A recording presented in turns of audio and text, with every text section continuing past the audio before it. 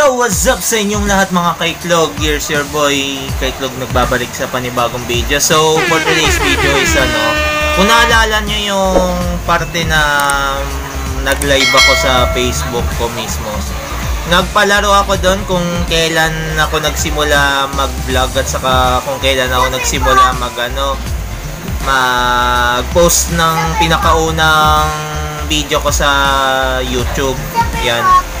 So, ano, yung nasagot nga pala, nasagot nga pala ni Kuya Darren yung dalawang tanong na yun. So, ano, sasabihin ko na yung ano, premyo. Kung ano yung magiging premyo kapag ano, yung sa mga palaro ko na ipopost ko sa Facebook or either sa YouTube ko sabihin yan sa channel ko mismo.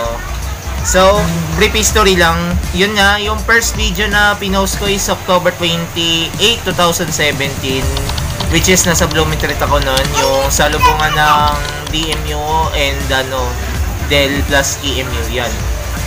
Yun po yung kauna-unahan kong video which is ano yun nga po salubungan ng dalawang train tapos yung pangalawang ano tanong ko kung kailan ako nagsimulang mag vlog which is ano po yun bisperas po ng ano Pasko nung 2019 December 24, 2019 yun so ito na the price of ano ng palaro ko ay ililibre ko ng ano na kung ano man yung gusto nyong fast food, either Manginasal, KFC, Jollibee, Chowking, kahit ano pa yan. Yung premyo ko kasi ngayon is ano, magiging content ko sa mga susunod na ano panahon. Bali ngayon lang ako nakapag-vlog ulit kasi ano, tinatapos ko lang yung finals namin which is matatapos this 27. Ano ba date ngayon? It's January 25 yan. Bali may 2 days pa para mag-compile ng ano mga project. So ito na yung ano price. Ang price po ay may 400 pesos akong ano itinabi which is ano yun po yung presyo na iti-take kong challenge sa Zarks. So, bale, ang ano doon, yung challenge, may challenge burgers po sila, which is dalawa po ang challenge burgers nila, na, nabanggit ko po dati sa spicy noodle ko dati. Yung dalawa po doon is, is Joe Breaker at saka yung isa pong challenge which is ano, the 6, ano, yung anim na patties. Tapos, may buns and fries, yan. Yung ano, Joe po, nasabi ko na, ano, tatlong It's consist of ano, three patties with ano, buns and fries. Yan. Bali yung jawbreaker is ano, kailangan mo siya makain within 5 minutes. Uh, heal kapag ano, na kompleto mo yon ay libre ang pagkain mo. Libre mismo ang pagkain mo which is 400 pesos po siya ngayon. Dati pong 369 since ano nga po dahil nga po sa ano pagtatas ng mga bilihin kaya po naging 400 pesos siya So kapag nanalo ako dun sa challenge na yon, yung 400 na yon, ipapangkain nung nanalo sa akin. So shoutout ko yung nanalo pala si Kuya Darren. Kuya Darren ng Elo Reyes. Siya po yung nanalo dun sa dalawang tanong ko na kung kailan ako nag-vlog at kailan ako nagsimulang mag-post ng video sa YouTube channel ko. Yan.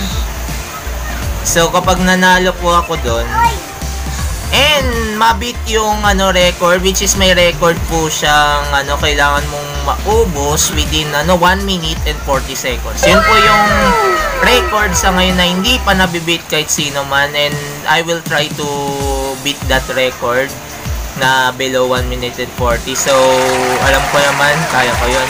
Club lang club lang malakas. Yan. So, ano, shoutout kita Kuya Darren. Magsama ka lang ng isang tao na syempre ano di lang naman ikaw yung uh, ano ng 400 pesos. Kailangan dalawa kayo. Yan. Ta bale yung isa ay taga video ko. Bale yung ano na yun bale dalawa na kayo mismo. Yan. So kahit isa lang na tao kuya Darren yan. So yan lang po. Simple lang po yung price.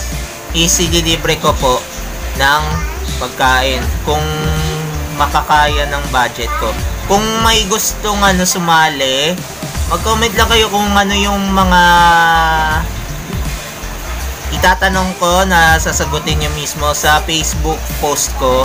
Ang Facebook ko po is ano, Daniel Makapagat.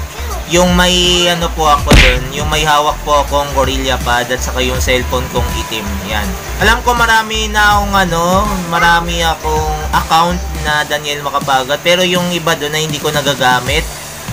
At ito lang mismo yung nagagamit ko, Daniel Makapagat, na yung latest profile picture ko is yung may Gorilla Pad and ano, cellphone. Yan.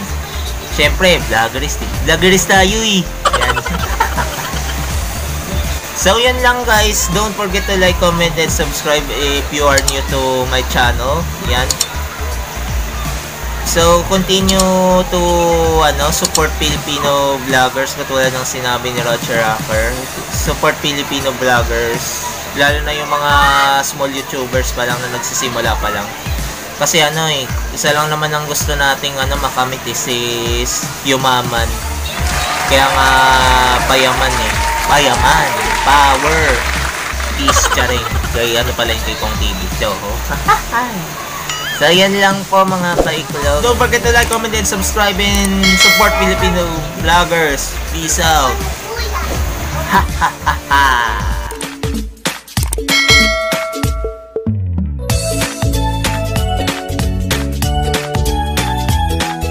Vloggerist tayo eh.